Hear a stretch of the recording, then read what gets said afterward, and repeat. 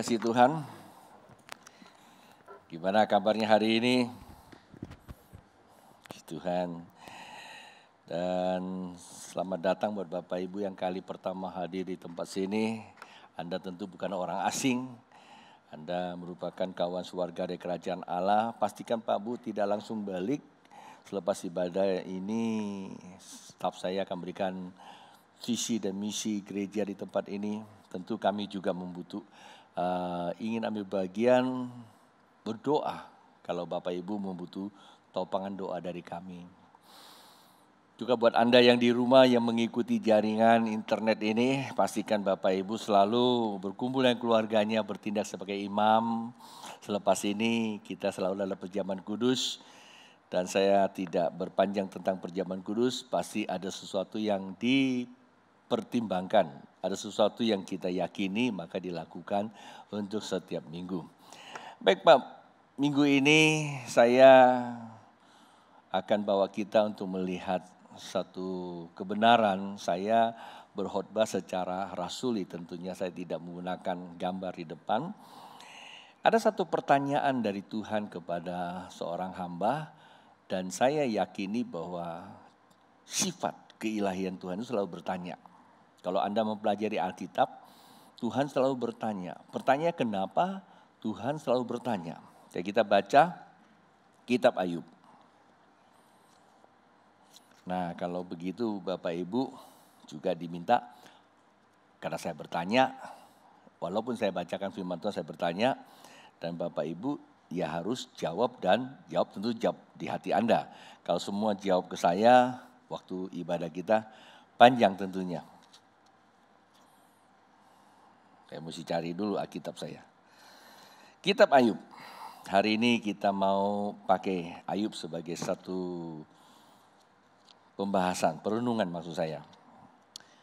Di dalam kitab Ayub pasal yang ke 40 inilah ya kalau kita ibadah pakai Alkitab kan mesti buka-buka pada zaman teknologi maju katanya pakai gini aja. Saya sengaja tidak mau pakai. Saya mau biasakan baca. Karena baca katanya lebih baik buat orang yang seusia saya. Akan menambah bobot untuk berpikir. Ya. Ayub pasal yang kelima, Ayub pasal 42, Ayub pasal 42, saya kira kalau bisa ditayangkan buat jemaat yang mungkin tidak bawa kitab, tapi pasti bawa gadget ya. Pastikan juga gadgetnya sudah ada installnya. Saya tidak mau bawa gadget atau Alkitab. kalau Anda bawa gadget, berarti Anda beli gadget. Tapi kalau Anda bawa kitab, Anda sudah memberi sumbangsi buat lembaga Alkitab Indonesia. Ya, mereka butuhan kita juga loh. Ayat ke, ya kita baca saja dari ayat pertama. Di situ topik, uh, di situ kata Ayub mencabut perkataannya dan menyesahkan diri, menyesalkan diri. Ada penyesalan, ada ada kesadaran. Seperti uh, anak yang terhilang, dia menyadari lalu men, menyesali. Sama ya, konteksnya sama. Ayat pertama dikatakan, maka jawab Ayub kepada Tuhan, Aku tahu bahwa engkau sanggup melakukan segala sesuatu dan tidak ada rencanamu yang gagal. Nah ini tahu, perhatikan kata tahu firmanmu siapakah dia yang menyelubungi keputusan tanpa pengetahuan. Itulah sebabnya tanpa pengertian aku telah bercerita tentang hal-hal yang sangat ajaib bagiku dan tidak ku ketahui. Dia banyak cerita hanya berdasarkan asumsi kata orang. Karena pengetahuan pasti dia sempat dengar, melihat, mungkin dari turunan juga ya, dari keluarga, ya, dan dia tahu. Lalu Tuhan bertanya begini ayat keempat, firmanmu, nah ini Ayub mengulangi firman. Ayub memperjelaskan bahwa firman itu sifatnya adalah bertanya. Firmanmu, dengarlah maka akulah yang akan berfirman. Aku akan menanya engkau supaya engkau memberitahukan aku. Jadi Tuhan akan selalu bertanya kepada kita, ngapain? Kita diajak untuk berpikir. Pak Bu, pikiran itu adalah lembaga pengelola kehidupan. Ini versi saya. Mungkin di dalam ilmu pengetahuan tidak disebut begitu. Pikiran adalah lembaga pengelola kehidupan. Kenapa saya saya gunakan itu lembaga? Karena lembaga itu berbicara sekumpulan, sekumpulan. Bukankah kemarin minggu lalu kita sudah sama-sama uh, menyelesaikan topik kemarin dan salah satu topik, salah satu poin bawah itu adalah pewaris pewaris kasih karunia keturunan keturunan dari uh, Abraham adalah sebagai apa? Pengelola kehidupan. Nah, kata pengelola kehidupan ini saya mengambil dari uh, pengajaran saya di KPG. Kalau kita menggunakan KPG ada namanya bingkai pengamatan, ya. Salah satu bingkainya itu adalah bingkai apa? pengelola, ya. Kehidupan. Jadi yang pertama, saya selalu ulang, yang pertama itu adalah gambar Allah, yang kedua hadiran kerajaan Allah, itu tujuan hidup kita. Lalu kehidupan itu apa? Pengelola kehidupan. Jadi Pak Bu, rupanya kehidupannya perlu dikelola. Sekali lagi, kehidupan ini perlu dikelola. Kalau nggak dikelola, hanya Fred aja ini masalah. Lalu bagaimana kita mengelola kehidupan ini yang segitu genjelemit ini loh, yang gitu luas ini. Dan yang segitu luas itu semua ada di dalam kontrol pikiran kita. Itu hebatnya itu. Ya, kalau Bapak Ibu mengerti tentang uh, mind, pikiran itu, bahwa Tuhan memberikan kepada kita. Pikiran itu pikiran, perasaan dan kehendak itu waktu dia menghembuskan nafas ya itu namanya jiwa yang hidup atau kehidupan ya atau dalam bahasa Alkitab ya nyawa itu kehidupan. Nah, dan itulah untuk kita mengelola kehidupan ini melalui pikiran kita. Apa yang kau pikirkan, ya itulah kehidupan kamu. Paham ya? Jadi apa yang kamu Pikirkan itulah kehidupan kamu. Jadi Tuhan bertanya kepada uh, Ayub, apa yang kamu ngomong-ngomong-ngomong itu sebenarnya itu dari mana? Gitu loh. Ya dia tahu Tuhan itu maha, ya kita semua tahulah Tuhan itu maha ajaib, Tuhan tidak pernah tinggalkan kita. Kalau sudah bicara, saya yakin kita semua cukup pakar lah ya. Tuhan maha adil, Tuhan itu mengasihi tapi pertanyaannya dia hadir dalam konteks apa nih? Dalam kondisi apa? Ya kalau kita sedang diberkati, kita sedang bersuka cita, kita sedang dibelai-belai. Oh luar biasa Tuhan. Ya saya pikir kalau kita ke kebun binatang, kita kasih apa tuh namanya uh, kacang, kayaknya nggak ada ya kacang ya.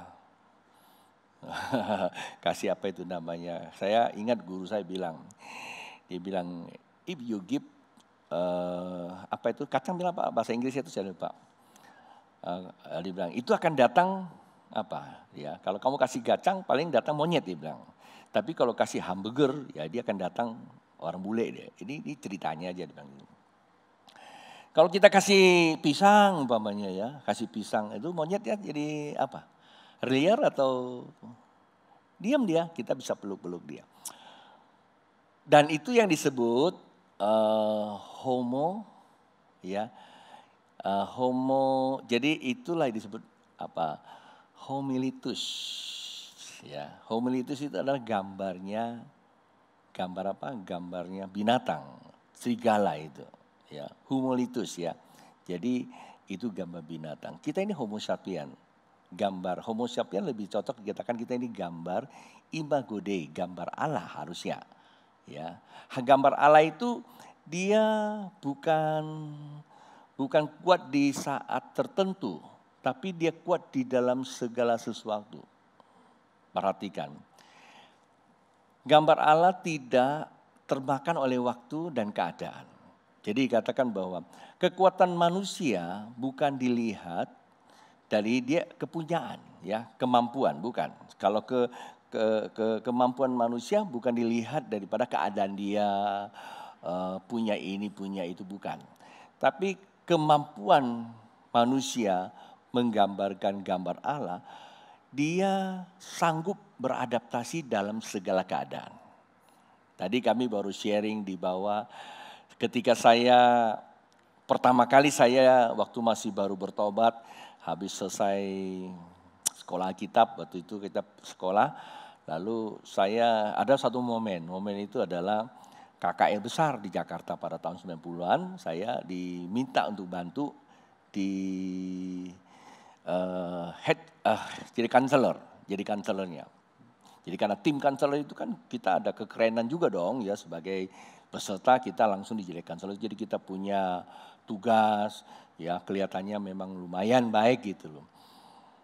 Eh, di training selama tiga bulan, kira-kira satu bulan sebelum jelang acara, ya saya diturunkan, jadi dikeluarkan dari tim itu. Nah secara manusia kecewa nggak kalau Anda punya ekspektasi mendapatkan sebuah jabatan, sebuah kedudukan tiba-tiba diturunkan gitu. Ya manusiawi saya, atau marah saya. Wah uring-uringan, besok saya nggak mau pergi lagi latihan. Ya apa-apaan nih orang main seenaknya putus tanpa kompromi. Biasa, kan kita punya asumsi manusiawi kan begitu. Rasa kita itu diturunkan, dihina gitu. Kita mulai merasa dijolimi gitu. Padahal belum tentu ya, belum tentu, kehidupan belum tentu. Tetapi kita mulai salah mengelola mindset kita. Kita di, disandra oleh pikiran kita sendiri. Jadi uring-uringan gitu. Ya, Lalu nggak lama kemudian saya dipanggil lagi sama ketua panitianya. Ini cerita sederhana aja sih. Ya, dipanggil panitianya. Ton, kamu kemarin kan di tim kanseler, sekarang saya minta kamu masuk pelatihan. Namanya tim analisis lapangan dan itu disebut uh, apa itu? Uh, ari apa ada satu area yang mereka bentuk itu disebut seperti kayak kita itu kayak intelijen lah gitu loh ya. Intelijen dan juga tim referent, pelepasan gitu loh. Karena kami dulu kan semua tim pelepasan. Jadi tugas wilayah saya itu, itu gak banyak orangnya. Gak banyak jumlahnya. Dan wilayah saya mencakup seluruh lapangan bola itu. Berarti posisinya lebih naik dong, betul gak? Lebih naik. Tapi sebelumnya apa? Saya udah uring-uringan dulu, saya merasa ini kehidupan kok gak aman, apa nggak nggak nggak adil gitu maaf saya menggunakan kata kehidupan karena saya beranggap keadaan itu atau paling mudah kita menuduh kan pimpinan kita. Wah nggak adil. Wah konyol. Pasti gitu kan. Nah, itu namanya kehidupan. Padahal kita belum tahu itu semua karena asumsi saya. Nah asumsi yang menggunakan peta gambaran manusiawi kita. Kalau hak kita dicabut kita akan merasa apa? Merasa kita dijolimi gitu loh. Padahal kebenaran belum tentu itu. Ya kan? Kebenaran belum tentu itu. Buktinya saya kebenarannya dinaikkan. Itu yang pertama kah? Terus yang kedua, saya sering kali cerita ini hal-hal kecil tapi barangkali ini bisa menjadi sebuah inspirasi buat Bapak Ibu dalam mengelola kehidupan ini. Ini mindsetnya. Saya ini baru diutus ke Pontianak kira-kira satu tahun lah nggak sampai itu saya balik ke Jakarta waktu itu karena kami masih ada hubungan uh, pendidikan di Jakarta dan teologi uh, lembaga. Lalu ada pelantikan pendeta di saat sidang sinode, bukan sidang sinode, sidang majelis daerah Jakarta DKI karena saya dari DKI. Lalu saya diusulkan sama pimpinan saya, sama gembala senior saya, diusulkan jadi pendeta muda. Ya waktu itu saya masih muda juga sih. Diusulkan jadi pendeta muda Bunda Anda kalau tiba-tiba diusulkan seperti itu, bangga nggak? Oh iya dong bangga ya kan baru jadi baru diutus jadi evangelis tuh tiba jadi pendeta muda. Aduh rasanya ya saya dikasih tahu ya kami, kami ikut ujian kan. Habis itu saya udah persiapkan diri, pakai jas besok itu mau dilantik seluruh Indonesia hadir bahkan luar negeri mau dilantik loh pakai jas perjamuan kudus dulu. E, begitu mau mulai acara nama saya diumumkan tidak disertakan. Anda bayangkan loh kalau Anda digituin gimana? udah pakai jas ya. Umpama kayak si Erna sama si Ahyap duduk di depan disuruh tiba-tiba uh, Ahyap Erna kamu jangan duduk situ ya. Coba jaga pintu aja ini gantikan sama si Roy. Rasanya gimana? Pasti lah manusia ya. Saya dipermalukan rame-rame ya. Apalagi udah duduk begitu ya kan. Wah waktu itu kayak geledek aja saya tuh. Ya, terus saya langsung saya ke ininya, ke bagian acara saya tanya, Loh kok nama saya diturunkan? Dia bilang ini atas usulan dari pembinanya. Ya ampun, dia yang usulin saya, mungkin dia nonton nih karena dia suka nonton khotbah saya karena itu bapak saya. Dia yang usulin saya, dia yang turunkan gitu loh. Marah. Saya langsung keluar nggak tahan saya. Orang ibadah saya keluar, saya buka jas saya, saya jalan mau kembali ke hotel, udah mau pulang gitu. Wah waktu itu memang benar-benar galau banget ya. Nah pas saya turun ketemu salah satu penatua gereja, saya ditanya, Ton mau ke mana? Bayangin loh kondisi gitu kayak relasi dengan orang lain gimana? Hancur, relasi juga gak enak. Saya jawab cetut aja, enggak mau balik. Ini orang juga nggak mau reaksi apa, dia tinggal jalan juga gitu. Dia nggak nanya ada apa, dia tinggal jalan, ya aku jalan balik. Nah waktu sampai jalan balik itu, aku ini pada waktu itu memang lagu ini lagi juga juga ini sering nyanyikan ya. Roh Kudus jamalah tiap hati. Lagu itu terus mengalir. Uh, di hati saya, air mata saya terus mengalir. Nah Tuhan bertanya. Nah ini kan Tuhan sudah tanya. Mau ke mana kamu Ton? Mau balik. Lo kenapa? Selalu tanya aja. Saya bilang, ya saya sudah nggak ada acara lagi. Ya pendeta saya diturunkan gitu, nggak jadi lelantik. Ditanya siapa yang kasih kamu pendeta? Tuh Bapak pembina. Lah kalau Bapak kamu pembina yang turunkan, kok kamu keluar dari ibadah? Bukankah ibadah itu saya di situ? Walau pertanyaan itu buat saya hancur. Saya pakai jas lagi, saya balik lagi. Nah itu, saya balik lagi di situ saya ikuti ibadah, terus aja ibadah buat saya tidak konsen daging saya tetap masih uh, ber, pokoknya berontak lah. Lu bayangin tuh. Tadi udah keren-keren mau dilantik kan nggak jadi dilantik. Ya sudah lama-lama kan saya lupa saya pulang. Nah ceritanya gini, cerita waktu saya selesai ibadah, pembina saya yang saya paling kesal sama dia itu saya nggak mau ketemu lagi. Terus saya mau cari teman pulang. Pas lagi mampir ke rumah teman saya, tiba-tiba saya pembina datang di depan pintu. Hei Ton, mau ke mana? Mau pulang. Sini dia bilang, saya dipanggil. Ini mati saya ini orang yang bikin saya malu. Tapi walaupun saya sudah berdamai sama Tuhan, tapi saya belum berdamai sama dia. Ya, berdamai pada diri sudah setengah-setengah, belum belum full. Kenapa? Perdamaian dengan Tuhan pasti akan terjadi perdamaian diri. Tidak bohong kalau kita sudah berdamai dengan diri kita nggak bisa berdamai dengan orang lain. Ini saya anggap berdamai setengah-setengah karena saya udah balik ibadah sama Tuhan udah selesai dong. Nah sekarang saya merasa saya udah udah udah nikmati lah. Tapi sama dia saya belum. Tapi saya dipanggil, sini Ton. Waduh, ikut saya aja. Akhirnya dia nganter saya pulang.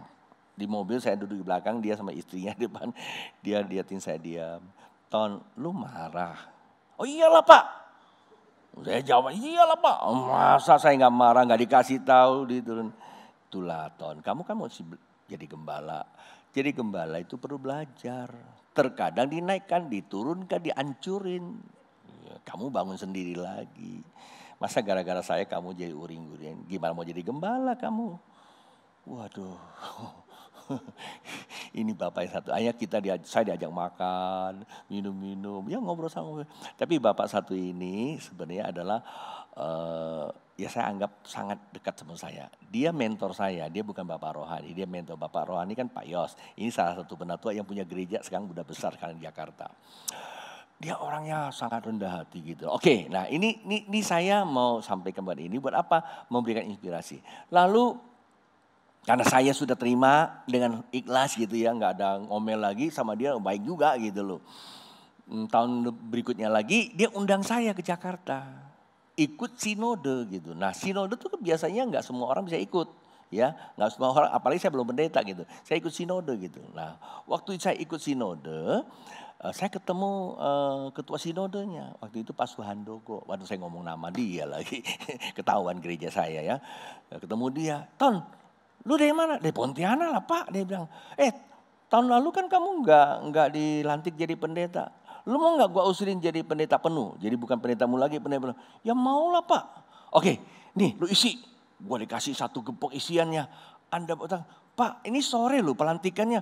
Gimana saya mau belajar? Udah lu jangan terlalu confident. Nih pakai pensil aja. Anda ngerti ya kalau pakai pensil ya? Oh, saya ini jujur loh pendeta yang seperti itu loh pakai pensil. Ya udah dalam berapa menit saya selesai isi ya pakai pensil. Apa yang ada otak saya isi aja gitu loh. Nah siangnya sih umumkan Pak Tony Hidayat dilantik jadi apa maksud saya? Dengan kita menerima suatu keadaan kebenaran oleh karena Allah, maka engkau akan selalu dimuliakan. Belum tentu yang datang pada kita itu buruk adalah keburukan. Terkadang di balik penderitaan itu juga ada nilai-nilai. Seperti kayak pandemi sekarang ini. Ada begitu banyak orang mengeluh tentang pandemi membuat dia susah usaha, keluarga begini, gara-gara nggak bekerja, uang tidak ada, ribut. Semakin Anda mengelola otak kamu, semakin hancur kehidupan kamu. Ada yang sampai tidak berdaya. Tapi ada orang yang menerima ini sebagai satu, uh, dia bisa memaknai ini baik.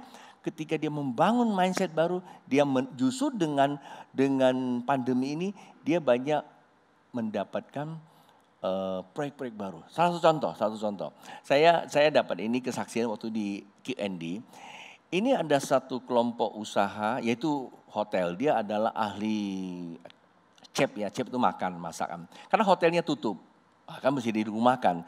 Waktu di rumah makan dia bilang, aduh awal-awalnya dia merasa benar-benar ini pukulan buat dia. Tapi karena dia keluarganya memang cukup mengenal Tuhan, dia berdoa, dia berdoa. Lalu ada suara kecil katakan, lu buat apa ngeluh? Kan lu punya keahlian masak. Lalu dia bikin hotel ya, itu di daerah Jawa Barat sana. Hotel di tengah sawah. Kalau ada bebek tengah sawah ini hotel, apa, hotel lagi. apa uh, Restoran tengah sawah. Karena kalau pandemi kan orang kalau kumpul-kumpul, dia di sawah dibikin kayak pondok-pondok gitu ya justru rame gitu. Kata kon, eh, eh, ini ya tanda petik ramenya itu standar protokol gitu. Di situ dia bisa mendapatkan pendapatannya. Bahkan dia sudah buka di beberapa gerai di beberapa kota. Ya salah satu kemarin gubernur dari satu kota juga mensupport dia supaya buka di kota dia. Ini sebuah ide yang baik. Pak bu ya jadi memang kita bisa melihat, anggaplah yang kita lihat itu adalah saat Tuhan sedang bertanya. Pandemi sekarang, kondisi hari ini, Tuhan tuh bertanya. Seperti Tuhan bertanya kepada Ayub. Pengenalan kamu tentang Tuhan yang dahsyat sampai di mana? Saya yang bertanya sekarang Pak Bu. Pengenalan Anda Tuhan yang hebat dan penuh kasih sampai di mana? Anda mungkin berkata, iya Tuhan penuh kasih. Alam gara-gara jabatan lu turun aja lu udah gak mau ke gereja. Kan begitu kan? Allah gara-gara kemarin kamu ditegur ya kamu udah gak mau ke gereja. Kalau satu kali gak apa-apa kata si apa happy tadi itu momentum gak apa-apa be. Tapi kalau terusan gimana? Ya itu namanya udah mati duluan sebelum mati. Ngerti gak pertanyaan saya? Mungkin pertanyaan saya menjindir lalu juga menyinggung ya. Pas kena orang yang memang bersikap seperti itu. Seharusnya ini ini bukannya bukannya racun, ini obat. Kadang-kadang kita ha, hadapi, kalau kita lagi diberkati, kita lagi semangat, kita lagi punya, kita, nggak enak saya ngomong, kita semangat ada di depan terus. Minggu lalu dari mana saya khotbah tentang bahwa ibadah itu hidupnya dibedakan. Ada seorang ibu datang saya, Babi, Katanya kalau ibadah hidupnya di bidang, kok saya sudah rajin ke gereja, saya sudah ada suka di depan, saya bantu ini, bantu itu, tapi hidup saya biasa-biasa. Terus saya tanya, ukuran ibu biasanya apa? Ya tetangga saya udah bisa beli ini, beli itu, saya masih ke gereja aja nggak punya kendaraan. Bedanya di mana? Terus saya bilang, satu bu, yang punya mobil, yang punya motor belum tentu dia aktif ke gereja. Kadang-kadang hari gereja dia jalan-jalan. Ibu nggak ada mobil, nggak ada motor, tiap hari di depan. Itulah bedanya saya bilang. Paham nggak? Kadang-kadang kita melihat perbedaan itu dengan konsep kita. Ya, itulah perbedaannya. Dia mengangin nggak hujan tetap setia. Saya tahulah orang satu ini kan. Itulah bedanya kamu. Kalau an, kalau ibu saya lihat dibandingkan yang punya ini punya itu bentar dari depan terus ke belakang saya bilang ya itu namanya apa? Temporary. Tapi ibu ini absolut loh. Ya paham maksud saya? Nah kita teruskan lagi. Lalu lalu dijawab oleh Ayub. Ayub di ayat 5 katakan, hanya dari kata orang saja aku mendengar tentang engkau, tetapi sekarang mataku sendiri memandang engkau. Topik hari ini saya memberikan temanya adalah karena ini ibadah, saya harus ada ada ada tema juga kuasa pengenalan Allah. Allah suka bertanya, jikalau jawaban kamu itu sesuai dengan kebenaran pasti akan ada nilai kehidupan kamu. Maka itu dikatakan kelola kehidupan, kelola otak, pikirannya. Pertanyaan ini pernah datang kepada murid Kristus waktu Tuhan Yesus berjalan di Kaisaria. Sampai di Kaisaria, dia bertanya kepada murid-muridnya, menurut mereka siapakah aku? Lalu kata murid mereka mengatakan bahwa engkau itu adalah uh, Yesaya, ya uh, Yohanes, uh, Yesaya, Nabi akan datang. Jadi semua itu jawabannya apa? Itu berdasar pengetahuan aja. Ya, masa Yesus dibilang Yesaya, Yesus dibilang Nabi akan datang. Jadi jawaban itu tidak tepat. Nah, lalu tanya Yesus kepada mereka itu. Salah satu Petrus. Petrus, kalau gitu menurut kamu siapa aku? Nah, Petrus jawab begini. Engkau adalah Mesias anak Allah yang hidup. Coba kamu dengar ya. Engkau adalah Petrus anak Allah yang hidup. Kita baca lah ya, ayatnya lebih bagus ya. Di ayat yang ke berapa ini? Ayat 18. Ayat 17 saya bacakan dulu ayat 17 ya. Matius pasal 16 ayat 17, Matius pasal 16 ayat 17 berkata, kata Yesus kepadanya, berbahagialah engkau Simon, bin Yunus sebab bukan manusia menyatakan kepadamu melainkan Bapa yang di sorga. Sebenarnya eh, jawaban ini mestinya dibaca dari ayat 15 nih. Lalu Yesus bertanya kepada mereka, bertanya kepada mereka, tetapi apa katamu? Kata Petrus, siapakah aku ini? Nah ayat 16-nya itu baru Simon jawab. Ya Simon jawab gini, engkau adalah Mesias anak Allah yang hidup. Maka 17 berkata, kata Yesus kepadanya, berbahagialah engkau Simon bin Yunus sebab bukan manusia yang menyatakan itu kepadamu, melainkan Bapakku yang di sorga. Nah, langsung orang yang bisa mengelola kehidupan, bukan kehidupannya, tapi mindsetnya, maka ada energi bahagia. Bahagia itu bukan kamu dapat motor, dapat rumah, dapat pacar cantik ya. Bahagia itu adalah keimanan kamu tetap stabil, absolut seperti ibu tadi itu sebenarnya kamu ini absolut loh ya. Nah itu bahagia. Lalu apa yang kamu dapatkan? Nah Alkitab mencatat dua hal. Pertama di berbahagia kamu sudah mendapat apa? Harta di sorga. Terus ada yang berkata, buat apa be di sorga? Kan di hidup ini kan mau harta juga. Ya, ya. Tapi yang lebih lama hidup itu di sorga daripada di bumi. Bumi ini sifatnya paling banter 120 tahun kata kitab. Tapi kalau di sorga kekekalan. Kalau saja di bumi tidak ada seperti uh, Lazarus ya. Dalam hidupnya kan tidak ada apa-apa nih. Tapi dia berbahagia daripada orang kaya di bumi tapi di sananya menderita. Ini gambaran. Tapi ada yang tukar balik. Saya tidak mau juga bahagia apa? Bahagia di bumi menderita di sorga. Saya mau bahagia di sorga ada di bumi. Boleh-boleh aja. Tapi bukan kehendak kita. Kehendak Bapak. Bapak punya ketetapan gitu loh ya. Nah tetapi kali ini Petrus itu Allah punya panggilan khusus buat dia. Maka setelah dia berkata seperti berbahagialah, kata berbahagia ini mencakup universal termasuk Anda dan saya. Universal nih ya. Waduh waktu saya udah mau habis. Kemudian dikatakan, dan aku pun berkata kepadamu engkau adalah Petrus dan atas batu karang ini aku mendirikan jemaatku dan alamu tidak akan menguasainya. Kepadamu akan kuberikan kunci kerajaan sorga. Apa yang kau ikat di dunia ini akan terikat di sorga. Dan apa yang kau lepaskan di dunia ini akan lepas di sorga. Bayangkan, pengenalan akan Allah yang benar ketika dijawab oleh Petrus, bahagia secara absolut sudah dapat. Kedua apa? Pengurapan. Hidupnya hidupnya dalam kehidupan ini alam mau tak dapat menguasai. Artinya gini, kedagingan nggak bisa menguasai kita. Anda mau kaya nggak kaya, Anda mau sukses tidak sukses, Anda mau apa pun, sehat tidak sehat. Jadi saya ngomong gini, mesti nonton filmnya si Rap itu, si Rap ya. Ya, Rap, Rap kalau salah Rap itu. Sehat tidak, dia tuh dia tuh artis ya kemudian dia kena sakit sampai hari terakhirnya dia mau meninggal dia katakan Tuhan kekuatan kekuatan di saat aku susah dihembuskan nafas dan nyanyian terakhir itu ribuan orang bertobat dia bilang aku tak pernah kecewa dengan Tuhan Nah itulah alam mau tidak menguasai. Kadang-kadang kita satu masa aktif di gereja, nyanyi-nyanyi di depan, akhirnya hilang tanpa jejak. Banyak alasan. Nah konteks seperti itulah yang saya katakan kita gampang ditelan selama alam maut. Alam itu pada alam kehidupan ini.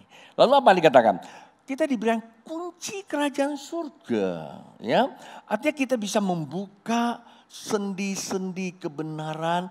Karena apa? mindset kita sudah dikelola dengan benar. Kita bisa buka. Bahkan Alkitab katakan, ketika kamu bisa membuka mindset kebenaran, kamu bisa ada kehidupan apa? Kehidupan ini bukan bersifat untuk kamu independen. Kehidupan ini bersifat global. Kalau kita sudah berdamai dengan di atas, kita sudah berdamai pada diri kita sendiri, niscaya kita pasti bisa berdamai dengan orang lain kata berdamai dengan orang lain, saya menggunakan istilah APS. Ya. Kita tidak bisa menilai seseorang dengan asumsi kita. Kalau kita menilai seseorang asumsi kita, kita tidak akan pernah berdamai dengan kehidupan ini. Apa sih? Karena kita sudah punya gambar tentang orang itu karena kita tahu. Umpama si Erna suka ngatain saya, contoh lah gitu loh ya. ya. Dia contoh, dia suka ngatain. Saya sudah tahu. Begitu dia saya sedikit geraknya, ah si Erna ini. Pasti gitu kan? Karena sudah ada peta. Maka tidak boleh saya menggunakan asumsi, saya menggunakan preasumsi. Apa arti kata preasumsi? Kalau Anda baca daripada kitab ilmu, preasumsi itu adalah kita menilai seseorang sebelum ada namanya apa? Sebelum ada landasan untuk kita berpikir. So ada landasan berpikir. Jadi saya mau pikir enak tuh seperti Maria. Saya tutup dengan cerita ini ya, Maria. Waktu Tuhan datang kepada Maria, Maria kamu akan melahirkan anak. Asumsi apa? Mana mungkin? Saya belum Ya itu manusiawi karena mau melahirkan mesti harus ada suami itu sudah peta. Kata Tuhan apa? Ya kan? Ketika Tuhan katakan kamu, roh kudus akan turun atas kamu. Dia bilang, ya Tuhan aku hambamu, kehendakmu yang jadi. Nah, preasumsi itu adalah selalu meniadakan pengetahuan tetapi mentuhankan Tuhan. Itu yang dikatakan di uh, Amsal 3 ya, ayat yang ke-7 uh, ayat ke-5. Dia katakan, percaya Tuhan jangan mengerti, menggunakan pengertian kamu, bukan pikiran. Jangan menggunakan pengertian kamu, jangan menggunakan peta gambar kamu, harus menggu, uh, uh, uh, apa, percaya pada Tuhan itu di ayat yang keenamnya akuilah dia kata akui dia ya Tuhan engkau segala-galanya kalau hari ini aku belum jadi apa-apa nggak apa-apa deh Tuhan yang penting kehendak Tuhan yang jadi maka kita akan dimuliakan saat-saat Tuhan menyatakan kehendaknya Nah, sesi kedua minggu depan saya mau bawa Anda bagaimana sih cara untuk mengenal Allah. Karena waktu kita tidak mungkin, saya gantung ini untuk minggu depan. Tuhan memberkati. Haleluya.